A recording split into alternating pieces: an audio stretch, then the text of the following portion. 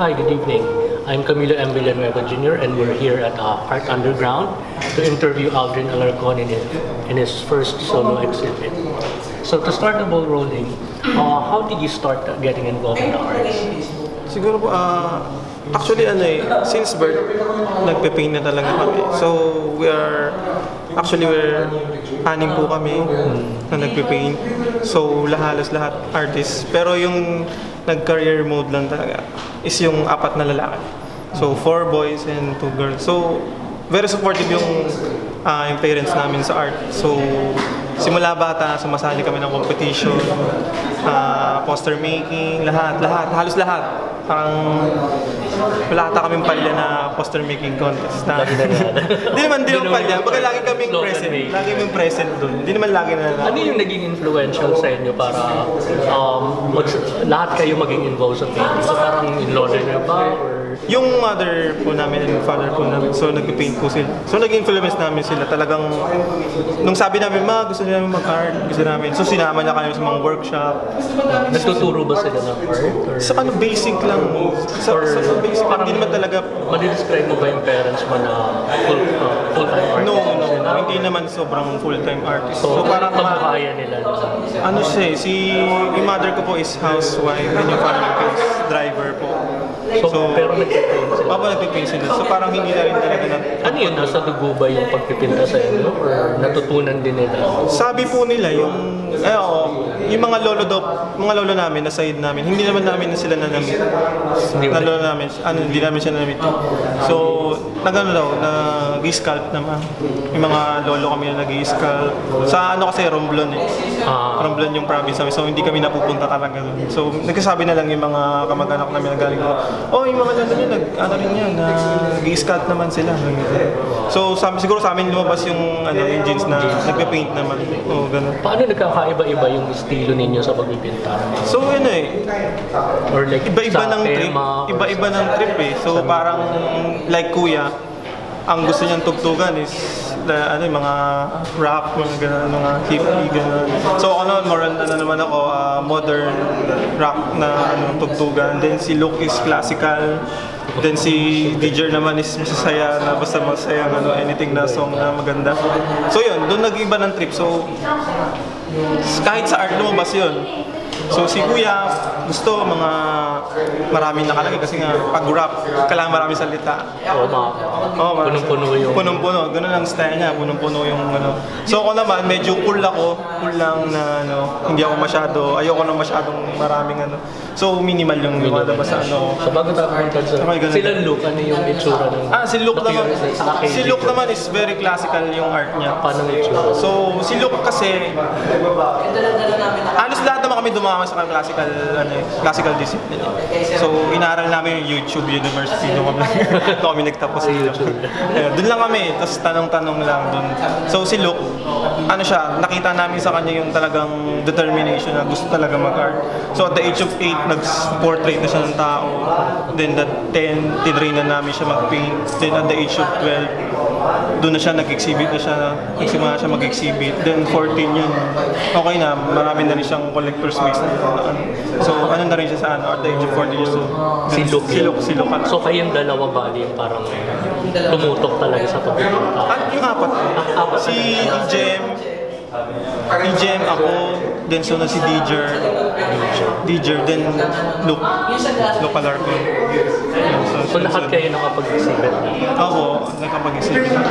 Ano yung mga influences niyo nung bata? Bukod sa mga parents niyo, bukod sa music, ano yung mga factor, ah, mga bagay, ah, influences, readings, ah, other painters na may na Pinaka-influence namin is yung ano eh, yung comics ba nung bata kayo? Or Hindi, ano eh, more on ano kami. Paano ba? Ah, influence namin ano eh, more on ano kami sa mga, yung mga national artist natin. Luna is one. One talaga si Luna. The best talaga. Siya yung talagang lagi pinupuntahan namin since na nagpipaint kami. So baga parang doon kami na ano talaga na person na one day pwede kaming ano, baga parang maging may pagmalaki ng country namin. Gusto namin mangyari. Yun yung parang pinaka-goal ng group namin na Ah, may for- grupo kayo na. Four lang po, yung Alarcon Brothers kami. Yun yung Yun ang pinaka-goal tawag na- Mga brotherhood yun talaga yun. So, dream namin talaga na one day maging proud yung country namin, maging ano namin sa ibang ano. So yun, parang kay Luna, naging proud yung country natin sa kanya. yung mga ganun. So hindi kami na-inspire masyado sa mga ano eh, sa mga cartoon characters, mga ganun. Culture. Hindi kayo dumaan sa gano'n na. Hindi na kami ano, kasi parang So, seryosong pinta. Oo, oh, seryosong painting like si Luke talagang hindi na namin siya dinaan sa ganun. I-describe yung atmosphere niya no, nung papalaki kayo na Siguro, nag-contribute din sa ang atmosphere namin noon, sa bahay, sa school? May contribution din ba yung school? ano eh, hindi, baga parang, Like yung mga contest ba, sa barangay ba to, sa munisipyo? may mga ano, yung- may mga, may competition din sa mga school, mga ano, like Shell, Petron, doon hindi kami na, Sumasali rin sumasali rin talaga kami. So parang doon kami nabuhay sa contest nung time na nag-aaral kami.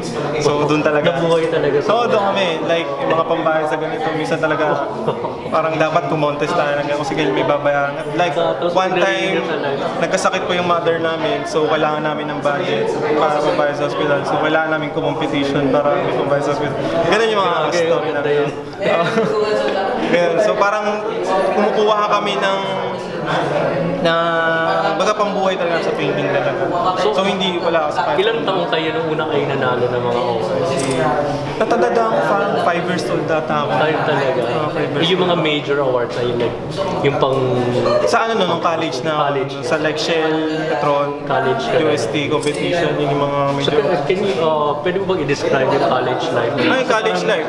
Uh, so, uh, narinig ko kanina, I was, like, I was asking around people, uh, you studied at PUP and I, sabi ko nga, sa PUP wala namang fine art. Oo, no, wala. So, mali pumasok ka ng college na marunong ka na talaga. So, ano nangyari na nung pumasok ka? Ah, para kaming nasa kawalan ng pumasok kami ng ano. So para kami Ito nagulat. Bakit hindi ka pumasok ng fine arts? Eh, magaling ka na magturo. Hindi po pumasok na parang kasi wala kaming pera. Na si Brad. Wala kaming walang pambayad yung mother ko sa mga, mga fine arts school na gusto namin punta Sa mahal. Dahil hindi naman sa kasi apat kaming college nung time na nagka-college ako. Apat sabay-sabay? Oo po, sabay-sabay talaga. Pero ilang taon na agwat ninyo? One Two years to, year. ano, one year, one year eh. Ayos. Sige, sige. So, Ano kami? So nag-college kami nun, kahit na pumasa ako sa UP, i-cut down nila yung tuition fee ko ng 10, Oo, hindi pa rin kakayanin. Hindi pa rin kakayanin. So yung pumasok ko ng Aries, parang nasa 7K na ata yung tuition fee. For, oh, actually mura na yun, pero hindi pa rin kaya talaga. So pumasok kami ng PUP. Walang fine arts, sige, kala na, parang gano'n. Pero may advertising, more on digital creatives. Oh, doon. Doon kami pumasok. Masscom kami ngayon. Lahat kayo. No, hindi naman ko lahat. Si kuya ko nag-iris kasi mura pa nung time na nag-iris siya. So lahat na is major PUP na yun. Oo, painting major naman si kuya. Tapos kayo lahat, PU. PUP na kami lahat. So yun, dire-diretso na sa hanggang sa mas mura doon. So walang fine arts. So sumasali kami competition, nanonood kami sa mga artists. Paano nyo ginawa yan? Kuya, paano yung ganito? Ano po yung magandang gamitin sa ganito? So, naging ano kami, matanong. Siguro yung pinakapuhunan namin sa pagiging artist namin. Naging matanong talaga kami. So, tanong kami ng tanong hanggang sa, so, para kami stalker ng mga artist na parang may inis sa sayo, ba't lagi nasa likod lang? Meron ka ba mga artist na tinututukan na tanongin? Opo, meron talaga. Sila ano, like sila si Jay Tanedo, Ivan Rojas, sila Barrio Quinto. Kaya hanggang sa nakokonek kami sa kanila, hanggang sa naging naging ano lang, parang mini mentorship na kami kung ano yung mga dapat namin gamitin. Tapos ano ang ano ang pasikot-sikot sa art. So tinuro na sa amin lahat. So parang kaming ano kami. Sa pagiging matanong namin noon, yun na. Namulat kami na, ah, ganun pala. Ganun pala dapat gawin natin. So yun, pero nung nagsisimula pa talaga kami pa, wala talaga. Sasali kami ng competition, ang dami-dami pa namin, tapos lahat kami talo. Kasi hindi nga namin alam yung ano. Wala talaga Wala kami alam. Wala kami idea. Hindi na pala poster making dito.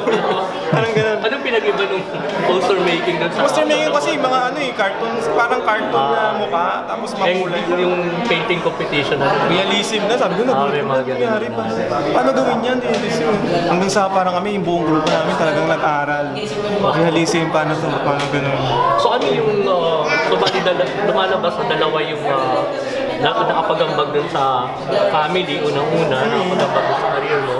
And then yung mga artists na kinonektahan niya nung nasa college na. opo yung mga naging ano yung, uh, ano yung tatlong pinakamahalagang bagay na natutunan mo dun sa pangungulit mo or sa mentorship ng mga artists na siguro natutunan ko din yung ano ah pinaka natutunan ko din yung pakikipag ano pakikipag kapwa sa isang tao. Yan pinakamahalaga yun. Hindi dapat mawala yung pakikisama mo sa tao. Tapos you need to have many friends. Yun lang talaga dapat Huwag kang magre-reject ng kahit ano. malayo sa pain. Oo, Sige, sige. ma- ma- malayo sa painting, pero mala- mahalaga. Career, mahalaga. To sa career mo, yun. Yun yung mga natutunan. Tapos, as an artist, yung discipline. Kailangan madisiplina mo yung sarili, madali ko yung boss dito eh. Baga ikaw yung magkokon- magkocontrol ng buhay mo. So, kung artist ka, dapat pagkatamad, tapusin mo yung deadline mo. Pag So, ikaw lang din ang magbibigay ng deadline. ikaw talaga magbibigay ng deadline. So, yung work mo, yung kung ano yung effort mo, yun yung magiging matatanggap mo pag artist ka.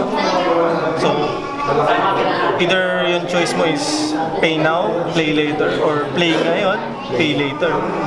Oh, pwedeng ganun. So, yun, yun yung natutunan namin. Kaya kami, lagi ko sinasabi sa mga kapatid ko or mga la, ano, pay muna tayo ngayon. Walang play. Bawal yun. Bawal sa amin yung ganun. Walang play. Walang laro-laro. Kailangan, ano muna tayo. Ayusin muna natin to. When, when settle na tayo. Then, yun, gusto, gawin yung gusto. Ano namang na-contribute nung pag-aaral mo sa PUP? Ah, yun. Isa rin mahalaga doon, natuto ko mag-graphics. So, ngayon sa panahon ngayon, kung artist ka, dapat marunong, marunong ka sa graphics. Kailangan hindi mo wala. Like yun, ito, editing. Kailangan mo ng editing